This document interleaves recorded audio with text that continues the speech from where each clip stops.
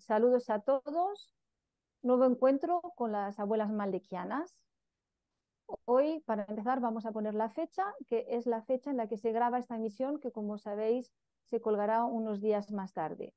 Pero en el día de hoy podemos ya deciros que estamos en gama 3 de la luna eléctrica del venado, del anillo solar del mago entonado blanco. Y el kin de hoy es el kin 232, que es el humano espectral amarillo.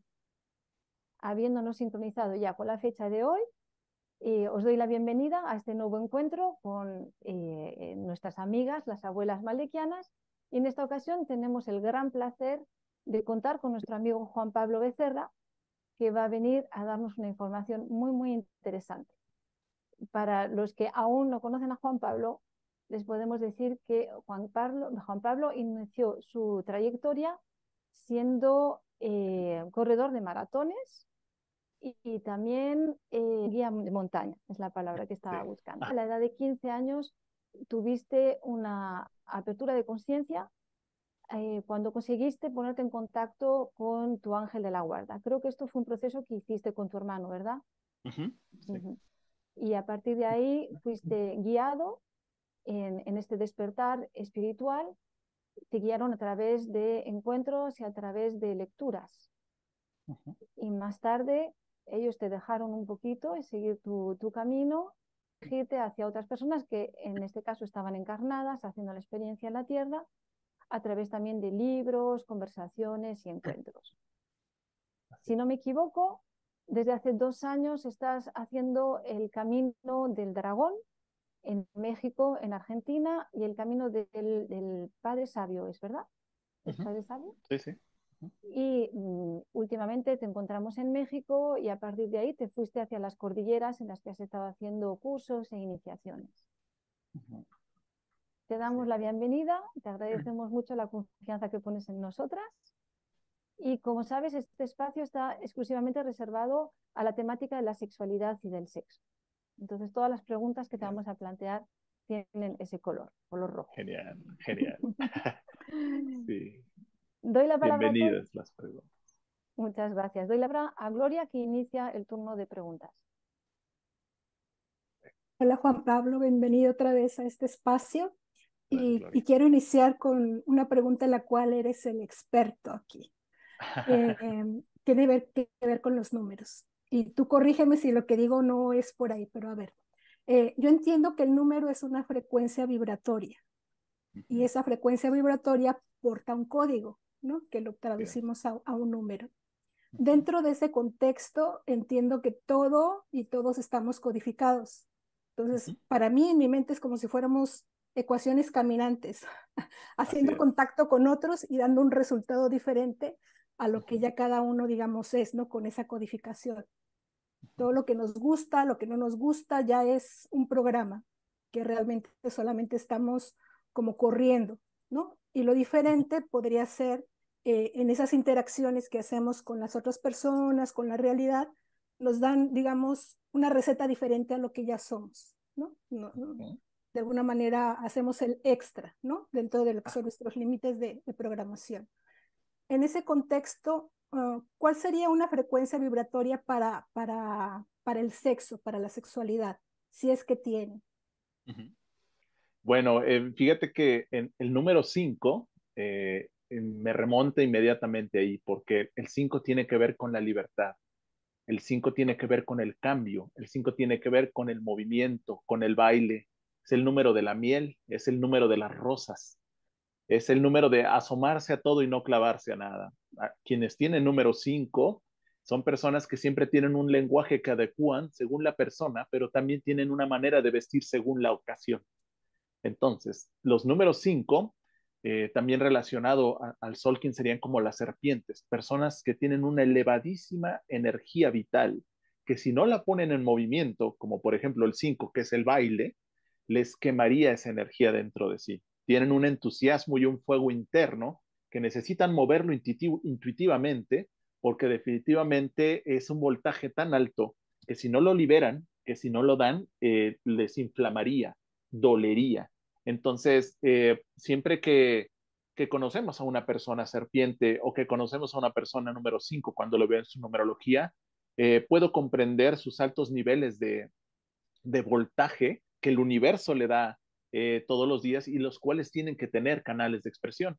En específico, el número 5 eh, tiene que ver mucho con el baile y el baile, si te fijas en sus movimientos, no, no, son muy diferentes al, al, acompasado que tiene con con exactamente con estos hilos del alfa y el omega, ¿no? Que son estas, el, alfa y el omega, el alfa es eh, convexo, el omega es cóncavo, el alfa es masculino, el, el omega es femenino. Pero estos dos hilos dorados eh, que van alrededor de la columna, que es nuestra varita mágica, eh, al, hacer los movimientos del baile, también estás moviendo esa energía, le estás dando una liberación, como la conexión que hicimos previo a esta conexión hacia los siete rumbos, es una manera de expandir la conciencia que, que, de por sí la conciencia no tiene límites. En ninguno de los siete rumbos que hicimos hay un límite, ni hacia la izquierda, a la derecha, arriba, abajo, al centro. Por lo tanto, si no hay límite en la conciencia, todo es aquí, todo es ahora. Entonces, en esta densidad, la energía, eh, lo que llamamos también kundalini, ¿sí? el, el baile ayuda muchísimo a eso, pero en el 5 es una necesidad hay personas que inclusive se expresan del baile como una adicción. Eh, conocí en Cali, que es la sede mundial de la salsa, el, el chofer que me recibió en el aeropuerto me dijo, yo cada fin de semana me reúno con un grupo de amigos y amigas y bailamos salsa. Me dice, y lo único que escucho en mi taxi son tres estaciones de salsa. Entonces, bueno, ya no le quise preguntar su fecha de nacimiento ni nada, pero claramente me estaba hablando de esa imperiosa necesidad de moverse y de que si no se mueve como lo hace, eh, él, él, no estaría en ese punto cero de paz o, o, de baile si no se esté combinando con otro tipo de energías. Porque una cosa es bailar, puedes combinar con otras sustancias como alcohol o como drogas, entonces puedes estar abriendo portales, ¿sí? Para que ya no seas tú el que está bebiendo, el que está fumando, el que está, el que está bailando, sino sean otro tipo de, espíritus o de entidades que ya estén haciéndolo a través de ti ahí es cuando, eh, digamos, puede cambiar como, como su esencia, pero en el 5, en el 5 siempre eh, pongo mucha atención en eso, eh, porque, digamos, dependiendo dónde tengas ese número 5, también es donde podemos encontrar bloqueos. Pero sí, definitivamente, de todos, de todos, el 5, todas las personas 5 son bailarines, son, son del baile. es, es, interesantísimo porque es una manera de sublimar toda esa energía, toda esa pasión, que, que la pasión es el amor en acción, es una manera de moverse. Entonces, eh, el universo es sinónimo de movimiento. Tú hablaste de que todo es una frecuencia. Si, te fijas un círculo, que sería como el origen, cuando tú rompes el, el círculo, se vuelven eh, como espirales eh, continuas. Si tú ves el número rojo, digo, la frecuencia del rojo es como mucha distancia entre sus crestas. Pero si ves el, el violeta, están muy cercanas eh, la distancia entre sus crestas, dependiendo de la velocidad del movimiento de esa espiral y de la distancia entre sus crestas, es como clasificamos si es rojo, es naranja, amarillo, azul, eh, y también eh, le, le, ponemos una frecuencia en hertz o en megahertz, ¿no? Y podemos saber, eh, digamos, por ejemplo, en el caso de la rosa, este, qué frecuencia tiene, que es equivalente como a 232. Eh, la frecuencia de los huesos es de 50 Hz, o sea, al final, nada más por ese circulito, saber qué tan separado está uno de otro en su ascensión o en su spin, en su espiral, ya le ponemos un color, una frecuencia y podemos hablar de altas frecuencias, de bajas frecuencias y podemos hablar de vibraciones eh, se, según la distancia, en, por ejemplo, en los colores o en los chakras, ¿no? Entonces, el, el número 5 sí, definitivamente, por ejemplo, en el código de Sofía, el código 5 es María Magdalena en la garganta pero la fisiología de la garganta está muy relacionada a la fisiología sexual. Sí, se, ha, se, ha, se, ha, visto que hay una conexión directa. Cuando hay una represión o bloqueos en la expresión de la voz, también llega a haber, como es arriba, es abajo, bloqueos en la expresión de la sexualidad.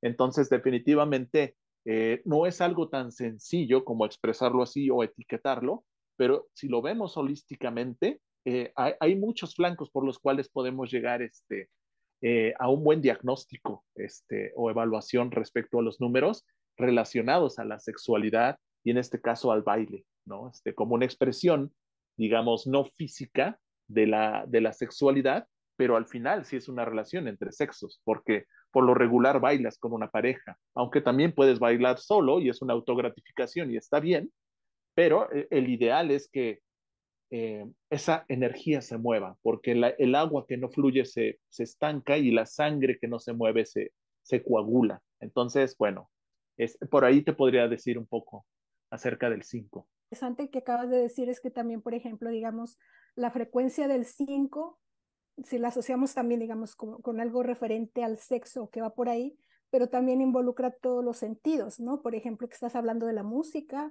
estás hablando de los colores, y también me imagino que lo que olemos, lo que vemos, todo va, digamos, confabulándose, ¿no? En, en, ese punto, en esa frecuencia. Sí, porque los aromas tienen frecuencias. Entonces, dependiendo eh, la frecuencia del aroma, es el estímulo que te produce en el cerebro. Que, eh, un, aroma entra en tu subconsciente antes de ser intelectualizado. Por eso es que la aromaterapia tiene ese poder de entrar en, la parte este, prefrontal y desde ahí hacer su, cometido o su, su frecuenciación, su, su, terapia, su resultado, eh, al no poder ser intelectualizado. Por eso en mercadotecnia se dice que lo que te gana por el aroma ya no importa que sepa. Por eso la mercadotecnia utiliza mucho los aromas para seducirnos. Por eso el mercado de, de, los perfumes, ¿no? Por eso el mercado de, de todos los condimentos que se ponen en la comida. En los centros comerciales cada vez se utilizan más aromaterapia. Antes lo primero que sentías en un centro comercial era como el aire acondicionado y ahora lo que te llega es un aroma. Un aroma que está estudiado, qué efectos tiene en tu cerebro y por lo regular te va a dar más paz, te, te, va a dar más tranquilidad. Es como en un casino que nunca apagan la luz para que nunca sientas que pasó el tiempo. O sea, hay muchas cosas con las cuales se ha jugado eh, mercadológicamente pero que si nosotros vemos de fondo cuál es su acción, podemos utilizarla a nuestro favor. Pero sí, efectivamente, eh, la creación viene de frecuencias que se convierten en música. La música y los sonidos se convierten en luz, la luz en colores, los colores en geometrías, las geometrías en números y al final en letras. Entonces, hablar de letras, que también son conciencias vivas y de números, eh, es el último que re recurso que utiliza el universo para comunicarse con nosotros. Antes de eso se comunica con geometrías, con colores, con luz, con música y con frecuencias. Entonces, eh, la verdad es que es un mundo súper completo, pero regresando al 5 y a la sexualidad y al movimiento, sí, efectivamente, eh, vamos a ver eh, que, hay, hay, números que tienen más este, acentuados esa, esa necesidad de moverse. Entonces, eh, también los tipos de sangre O eh, son personas que necesitan ejercicios de alto impacto para llegar al mismo estado en el que, por ejemplo, un tipo de sangre A, él puede encontrar ese estado de bienestar haciendo yoga, porque la A viene de agricultor. Después de que fuimos nómadas, nos hicimos agricultores y entonces ya teníamos la granjita, la vaquita, la, gallinita y todo ahí. Entonces, solamente tienes que sentarte a contemplar que tu hortaliza estuviera bien y si tienes hambre vas a ordenar a la vaca y a ver qué puso la gallinita pero el nómada no, el nómada tenía que aventarse unas caminatas para andar recolectando, no tenía un lugar fijo, entonces e, esas son cosas que también tenemos ahí en el ADN y por lo tanto este, también definen nuestra personalidad en algún porcentaje. O sea, tú ahorita has, has estado trabajando en lo que viene siendo la astronumerología galáctica, Ajá. porque pues pienso que solo la astrología te daba una parte, la numerología te daba otra y la parte maya te daba otra. Si nosotros ya lo pensamos como en integrado, ya en nuestro plano de sexología, ¿cómo, o sea, cómo nos está apoyando esta herramienta en el plano sexual? para que podamos ver, o sea, como qué vamos a sanar, qué vamos a hacer en este cuerpo, en estas dimensiones y en este tiempo. Y bueno, una de las principales herramientas es ir al origen. Por ejemplo, ahorita que hablábamos del círculo, eh, el origen de las almas gemelas, que se ha romantizado mucho, sí tiene su origen en la división del círculo, que nosotros lo vemos en el taoísmo como el yin y el yang, como el positivo y el negativo. Entonces, esta simbiosis de movimientos que da de la separación de ese círculo nos da dos almas que están completas. Es decir, un ser andrógino ya tiene el masculino activado y el femenino activado, pero provienen de la misma fuente, ¿no? En, aquí le llamamos el septum, cuando el espíritu baja a séptima dimensión, ahí ya el espíritu ya no puede densificarse más y tiene que crear una bolsa donde se crean seis, seis almas, es decir, tres, tres masculinas y tres femeninas. Entonces estamos hablando de tres parejas, una para cada dimensión inmediatamente inferior. Entonces, ahí estamos hablando de que están unidas sin confundirse, son distintas pero no están separadas. Es realmente un misterio, pero así es como Jesús tuvo que, y María Magdalena, que, ahorita es 22, que es el día de María Magdalena, eh, es una manera en que todo ese voltaje del espíritu se tuvo que dividir porque no podía eh, tener otro recurso para densificarse más.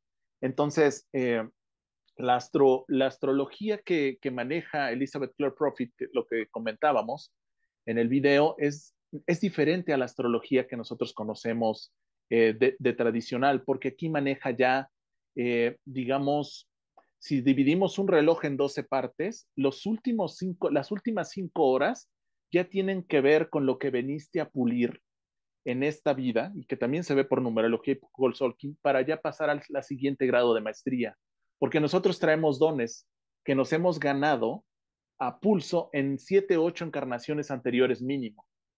Pero también traemos materias que, que hemos reprobado, por así decirlo, en una inmediata anterior, en las últimas siete, ocho vidas, para ver qué maestría es la que estamos puliendo.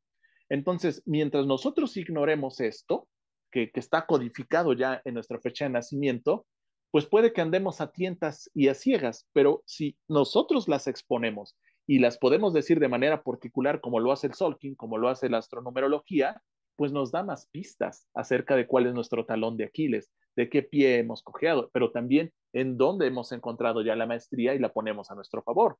¿Todo esto para qué? Para ver cuáles son nuestras fortalezas, cuáles son las debilidades, cuáles son los puentes para lograrlo y también, bueno, recordar qué misión este, nosotros elegimos para, para esta en específico porque todos llegamos como voluntarios a, este eh, planeta en riesgo de destrucción, porque siempre nos habíamos destruido. Nunca lo habíamos logrado como humanidad y por primera vez lo estamos logrando y lo estamos haciendo bien, porque todas las profecías eh, que se hicieron para no cumplirse, pues precisamente eh, esa imagen catastrófica que se había propuesto, hubo un grupo de personas que decidimos que no queríamos eso y hemos sostenido este, otra octava de posibilidad en una línea de tiempo donde eso no suceda. Así es de que sí, la verdad es que el universo nunca ha dejado de hablar, no dejó de hablar hace dos mil años, siempre ha hablado. Él dice, yo, yo le hablo a todos todo el tiempo, no se trata de quién le hablo, sino quién me escucha. Y respecto al sexo, tampoco lo ha dejado de hacer.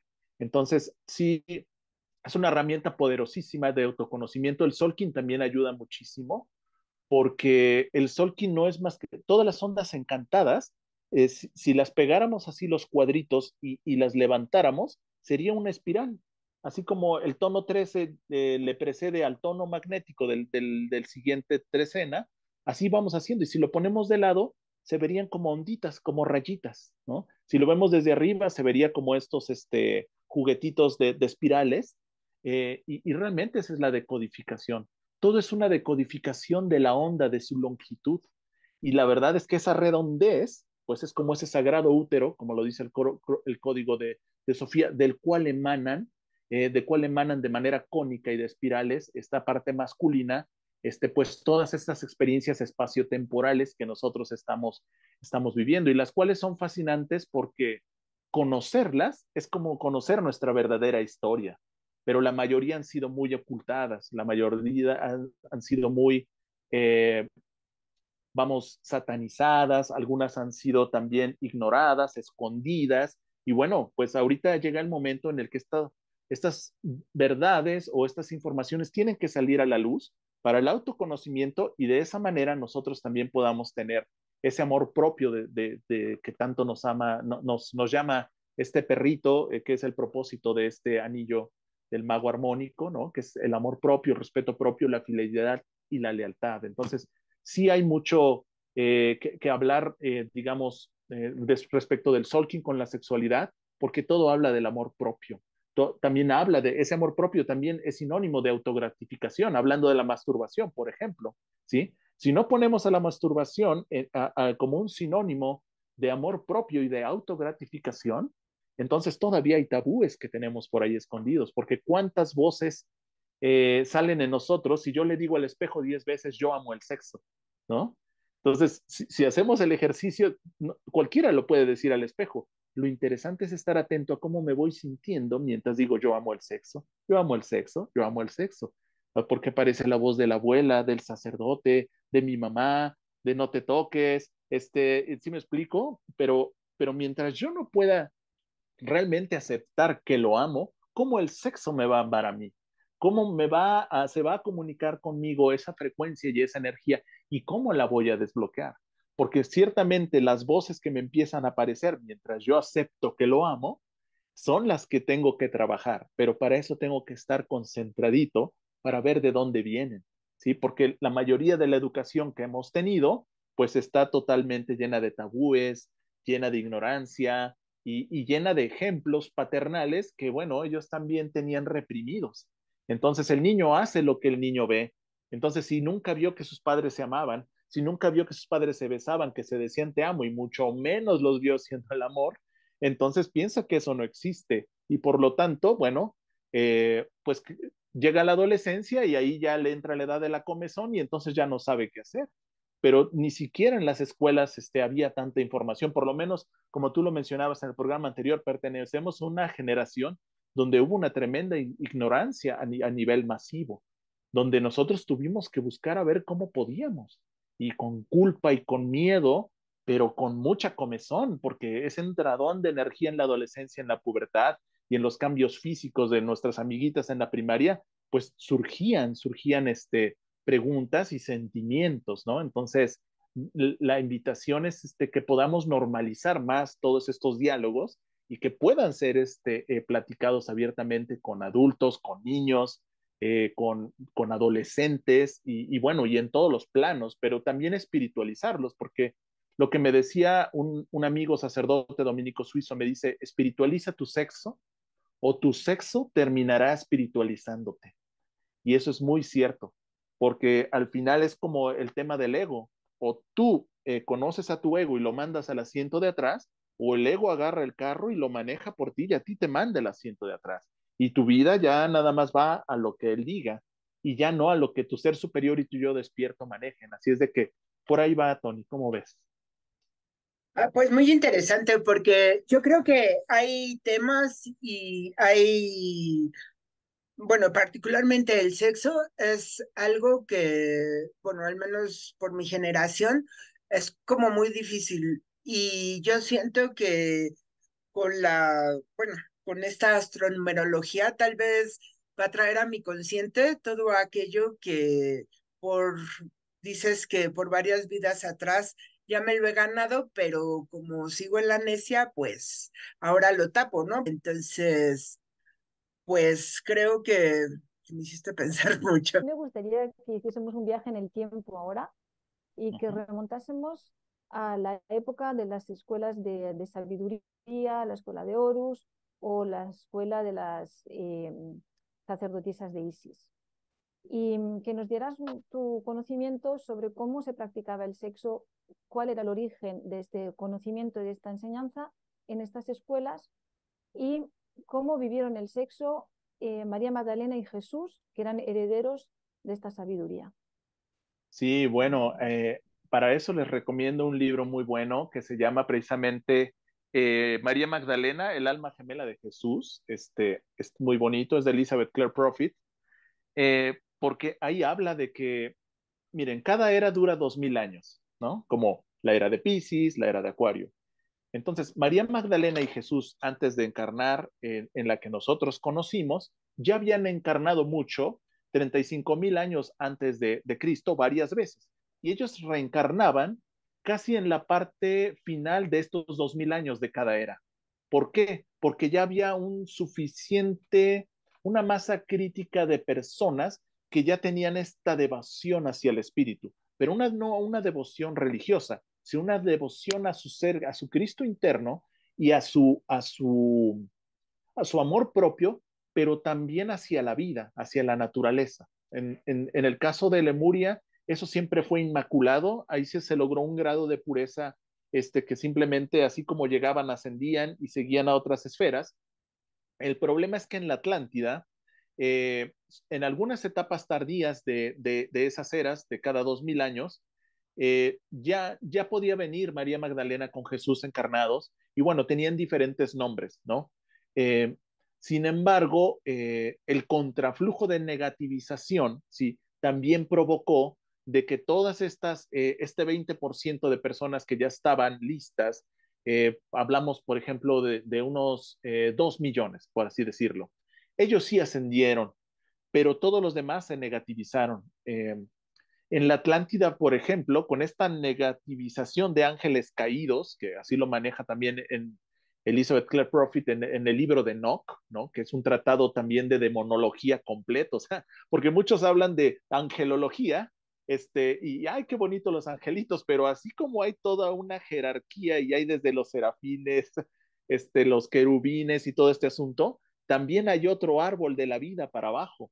Entonces, había un promedio de 10 demonios por cada habitante en la Atlántida, después de que Jesús, María Magdalena, pues ya con todos ellos ascendieron en, esas eras, pero los que se quedaron, ¿sí? Empezaban a engendrar este, gigantes, estos ángeles caídos, con, mujeres humanas, porque el universo le dio eh, a las mujeres la capacidad de crear vida.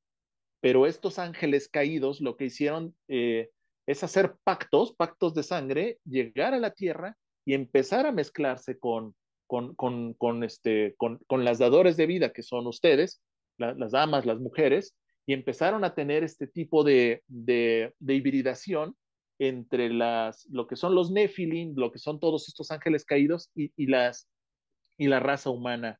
Entonces, lo, lo, que salieron de ahí fueron unos gigantes que, ya eran, eh, digamos, eh, un factor de negativización.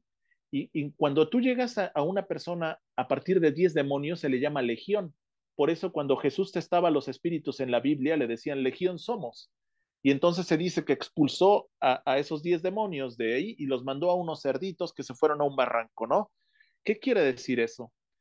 Eh, que nada es como parece y que realmente esos seres han seguido reencarnando generación tras generación desde la Atlántida y siguen entre nosotros.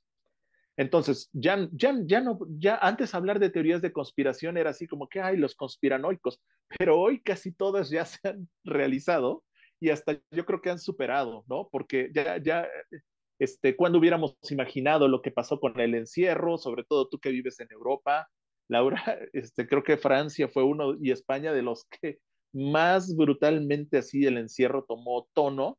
Este, aquí en México la verdad es que ni se sintió, este, somos el país más liberal y más rebelde, como dice Monsiváis, de todo el mundo, porque aquí era, o sea, aquí nos reímos de todo, estamos en la bioregión del mono, entonces la verdad es que, eh, eh, o sea, era, mira, también el concepto de inteligencia para mí cambió. Personas que yo consideraba, con todo respeto, inteligentes, cuando vi que se vacunaron, dije, bueno, tienen todo mi amor y todo mi respeto, pero definitivamente mi concepto de inteligencia cambió.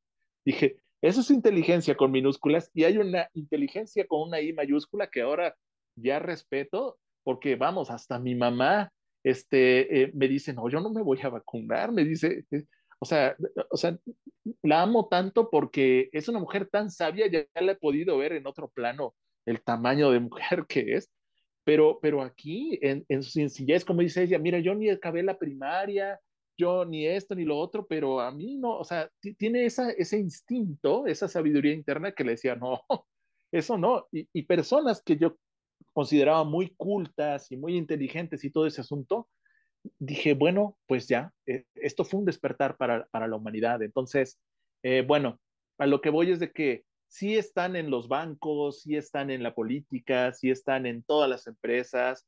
Eh, estos seres han venido reencarnando y respecto al espíritu, sí hay que cerciorarnos de que aquel deseo sexual que estamos sintiendo no venga de un estado de posesión de un asediador, porque así como tenemos amparadores, el angelito, también tenemos asediadores.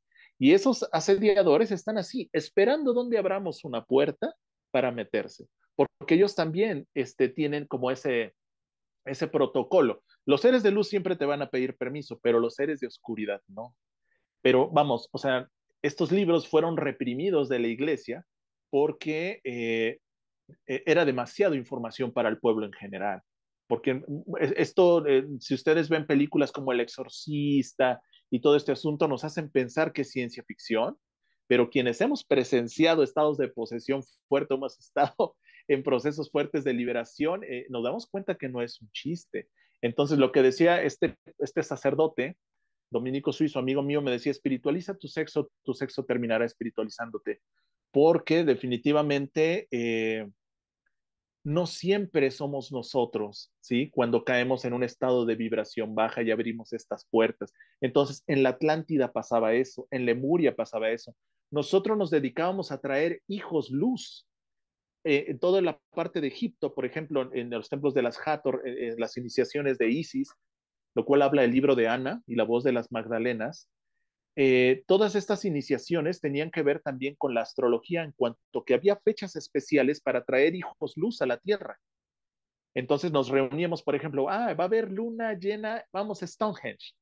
Entonces, si, si nosotros viajáramos en el tiempo y entráramos a esa escena, parecería una orgía desde fuera porque es lo que nos han vendido de que personas reuniéndose para unir sus cuerpos en grupo se llama orgía y que se llama un bacanal o, o, algo pervertido, pero no, en su inicio, eh, como no había culpa, como no había pegado, eh, era una unión para traer hijos luz en ciertas estrellas, con ciertas lunas, en ciertos puntos telúricos de la Tierra, para que esa concepción se diera. Entonces, imagínate la calidad y el tamaño de seres que bajaban, porque había una hiperconciencia porque había inocencia, porque había amor, porque había, o sea, lo más importante no era el, el, la parte coital, la penetración, o sea, una relación sexual podría tardar eh, dos horas, pero quizás los últimos 20 minutos era la parte ya de la concepción, es decir, de la parte física de la unión del óvulo y el espermatozoide.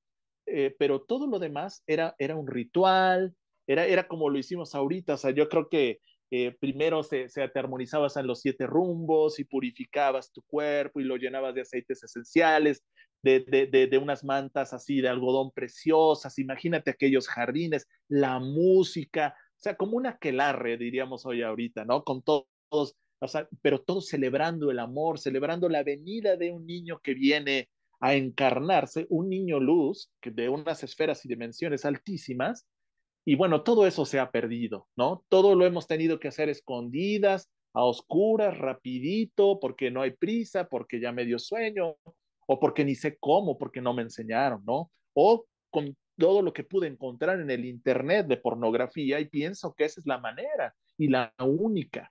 Y casi como los Juegos Olímpicos, más rápido, más largo, más fuerte. O sea, todas esas concepciones de competencia, contrarreloj y de comparación que han hecho mucho daño y con ideas como el decoro, que, que, eso también ha hecho tanto daño, ¿no? Porque ¿quién dice qué es el decoro? ¿Quién dice cómo sí y cómo no? O sea, cuando hay inocencia y cuando hay juego, eso lo traes tú, porque ya lo has hecho tantas veces en tantas vidas, ¿no? Que, que, que es, es, es, como un innato, pero también si dejas que el amor te haga, como se dice esa bonita frase, pues bueno, en ese ambiente hay maestras, habían maestras, Jesús mismo eh, llevaba a María Magdalena y a las Marías a, las iniciaciones que se hacían en India, que se hacían este, en los Himalayas, para que ellas mismas como sacerdotisas instruyeran en las artes amatorias, eh, pues a las doncellas que llegaban en la adolescencia a despertar, o desde niñas a despertar eh, esta, esta magia de creatividad, porque ha sido muy subestimada y ha sido muy, muy, este, muy eh, llena de culpa y de pecado, que, que, realmente, o sea, eh, hasta desnudarse ya e, es un acto que espanta, ¿sí me explico? O sea, si tú has ido a playa, creo que allá en España le llaman naturismo al, al, al, nudismo, ¿no? Aquí tienda naturista es tienda de hierbitas, pero allá el naturismo es como desnudarse. Y, y la verdad, ¿en qué momento eh, hasta Dan y Eva, la hojita de parra, ¿no? O, o las esculturas que le, tapan el pene o le tapan la vagina. O sea, ¿en qué momento eh, una parte dejó de ser estética y la otra prohibida eh, o, o, justificado por no sé qué? O sea, la verdad es que eh, no había eso en, en, Lemuria, no había eso en, este, en, Egipto, o sea, sí, sí había quizá la parte técnica, pero aquí no tiene que ver el, el, el cómo, sino el desde dónde, ¿sí? En cómo estás consagrando esa unión, porque tiene que ver con la admiración, tiene que ver con, con la honestidad, tiene que ver con el grado de conciencia, tiene que, o sea, al final tú sabes que en el Solkin hay demasiadas personalidades, tiene que ver también con compatibilidades, ¿sí? Definitivamente, eh, cuando tú ya te amas y te respetas a ti mismo, eh, en el número tres de numerología yo siempre le digo, son de las personas gourmet, que no se comen cualquier cosa ni en comida, ni en audios, ni en videos, ni en personas. ¿Por qué? Porque se aman tanto que saben con quién sí, con quién no y con quién nunca, pero no porque sean racistas, sino porque es una elección personal, es lo que a ti te gusta, no es tomar lo que haya, no es porque se me antojó, o sea, es algo muchísimo más sublime. Entonces, todos esos valores, las Magdalenas los tenían clarísimos, todas fueron iniciadas en Egipto y la verdad es que me imagino que, que eran súper amantes, por así decirlo, o sea, porque el hombre igual, porque también éramos iniciados, o sea, un niño pide, pero un hombre complace.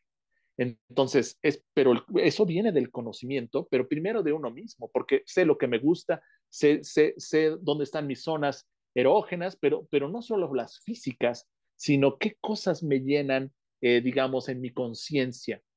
Entonces, obviamente esa cosmovisión, pues se perdió, ¿no? Y, y ahora solamente eh, tenemos la parte mecánica y la parte de la técnica y el sexólogo y, y la tienda naturista y para, o sea, todo está, digamos, en, en, el, en el hacer y todo está en, en la forma de, de, vestirse, de provocar, pero ya no está en el ser, ¿sí? Y cuando el ser está, lo, lo demás sale natural o es lo de menos.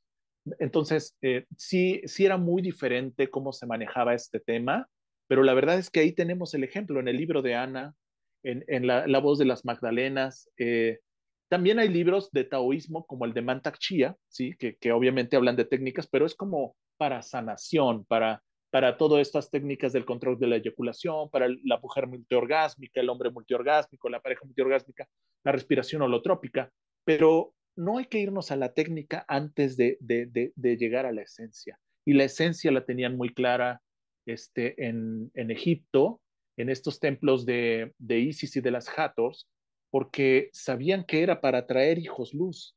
Pero la noticia ahorita es que ya no venimos a traer hijos luz.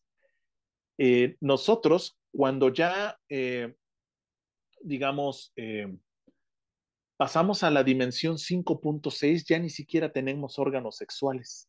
Entonces, este salto que todo mundo hablamos de la quinta dimensión, no dura mucho la parte física porque la parte sexual no dura más que a las 5.5, en las 6 prácticamente ya no hay nada. Todos los maestros ascendidos por eso tienen batas largas, porque ya no tienen chakras inferiores, prácticamente ellos vibran como del corazón para arriba y por eso nada más salen los iconos así como nosotros, que se nos ve del pecho para arriba.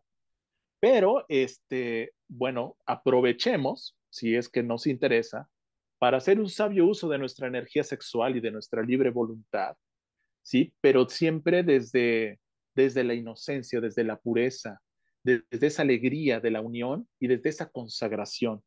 Ya no simplemente desde el egoísmo. La lujuria, como decía el Zafarrus, no es lo que conocemos solamente como sexualidad. La lujuria en su esencia es un deseo de sometimiento. ¿Sí? Entonces, uno puede no ser eh, lujurioso sexualmente aparentemente, pero sí puedes por definición ser lujurioso por, por querer someter a los demás. Entonces, la manera en que tu deseo de someter se refleja en el sexo, pues ya lo vemos en todos esos prejuicios de que hay el hombre arriba, la mujer abajo, ¿no? Está en la película de Game of Thrones hay una este, escena clarísima donde aquel, este, este hombre así súper fuerte, súper galán, que, que, todos deben de conocer por ahí, este, e, es, era como que los hombres este, siempre están arriba y las mujeres siempre volteadas y hacia abajo, ¿no? Y en el momento en que llega esta chica Daenerys Targaryen y, y, y, es instruida por estas chicas que le enseñan cómo se ama a un hombre, este, y se pone encima de él, le ves la carita al este hombre súper grande, súper macho y súper fuerte, como un gatito, así como que, oye, ¿esto qué es, no? Porque ni siquiera él mismo había concebido de que los hombres podían estar abajo y una mujer arriba y que ella mande, ¿no? Entonces, eh, esa es la humildad que tenemos que tener los hombres para decirle a la mujer del divino crístico femenino, tú gobernarás, tú mandas. ¿Por qué? Porque ya ha sido demasiado patriarcado, ha sido demasiado machismo, ha sido demasiada ignorancia de, someter, o sea, de lujuria, es decir, el deseo de someter a, la otra persona, que, bueno, es el momento de equilibrar, no para polarizarnos otra vez y que la mujer ahora este, eh, tome esos roles de sombra de, del, patriarcado, ahora el matriarcado, sino en un, sano equilibrio, pero, sí, eh, eh, era muy diferente, pero invito a todos a que, investiguen por ahí con este libro de Ana, con, la abuela de Jesús y, la, voz de las Magdalenas, eh, también el Evangelio de María Magdalena de Tom Kenyon. Busquen tomkenyon.com y ahí no solamente van a encontrar música de novena, doceava dimensión que está gratis, te la da él mientras no comercialices con ella, sino van a encontrar el Evangelio de María Magdalena. Y ahí te habla de la intimidad que tenían. Y parte de la intimidad es que Jesús mismo le decía que a veces él tenía dudas acerca del ministerio al cual había venido, que tenía también sus momentos de, noche oscura, por así decirlo, de incertidumbre. Entonces, esta manera en que estos libros aterrizan a estas personas que también la hemos puesto muy alto y, las vemos más humanas, entonces también nosotros descansamos, porque entonces también nos liberamos de, de expectativas. O sea, cuando tú te das cuenta de que para ser un maestro ascendido necesitas haber trabajado no el 100% de tu karma, sino el 51%, también te relajas porque aquí no se busca la perfección, sino solamente con que lo hagas un 1% arriba de la media, eso te hace excelente y extraordinario. Entonces tampoco nos pongamos expectativas de ser el superamante al 100% y yo soy el ejemplo mundial, sino con que lo hagas un poquito mejor, ¿no? Más tierno, más consciente, más espiritual cada día, pues puedes crear este, esos ideales ascensionales y dejarte guiar por todos estos maestros, porque todos ellos tienen templos etéricos y universidades para que pueda ser iniciado. O sea, la misma María Magdalena, las mismas Jatos te pueden llevar a esos templos porque de ahí venimos. Solo vas a recordar y tener esas memorias, pero tiene que ver más con el ser. Entonces, más que decir cómo lo hacían, es desde dónde lo hacían. Porque créeme que si lo haces del, del ser, el amor te hace. Tú no lo haces, porque si no te puedes perder en la técnica, en los minutos, en las posiciones, en toda esta parte inclusive hasta pornográfica, ¿no? Que tenemos este, muy, muy, muy, muy este, eh, bombardeada, pero definitivamente sí te sugiero que en el camino sea primero de autogratificación y de autoexploración, eh, pues de, de, más esfuerzo, disciplina y estudio en este tema, poner más orden, estructura y fundamento en los valores que te guían, para que así tu completitud sea la que te haga eh, atraer a esa completitud, pero como la mariposita, no la busques, sino arregla el jardincito y la mariposita va a llegar, eh, porque es pura frecuencia, entonces va, a aparecer, y, si no aparece, es que no está en esta dimensión, pero no, no puede depender tu felicidad de que esté o no esté aquí encarnada, hablando de las almas gemelas, para que tú seas feliz, porque si no, eso también se llama codependencia espiritual. Entonces, bueno, que la vida te encuentre amándote y si aparece este, por frecuencia y por resonancia esta, esta alma gemela, así como Jesús tenía a María Magdalena, pues felicidades. Pero si no, pues tú eres la fuente de la felicidad del amor, no tienes que buscar nada fuera de ti. Así es de que eh, empieza contigo mismo y después, pues bueno, que, que, el universo te bendiga con una unión con alguien que esté, eh, quizá también no 100%, pero sí arribita de la media de lo que hay, digamos, en, eh, y no voy a hablar de paganismo, ¿eh? porque hay, hay, hay, hay, actos paganos que son más espirituales que, que lo que nosotros pensamos que es espiritual. Así es de que ni todos los maestros están iluminados, ni todos los iluminados son maestros en estas artes. Así es de que el discernimiento está aumentando y eso sí es responsabilidad nuestra discernir con quién sí, con quién no y con quién nunca. Nadie va a venir a decírnoslo. Así es de que tengamos la humildad de también testar esos espíritus. Porque si tú quieres tener incorruptibilidad y que nada ni nadie te llegue al precio, vas a tener muchas tentaciones, porque si no, ¿cómo vas a demostrar que eres incorruptible? Y en el sexo pasa igual.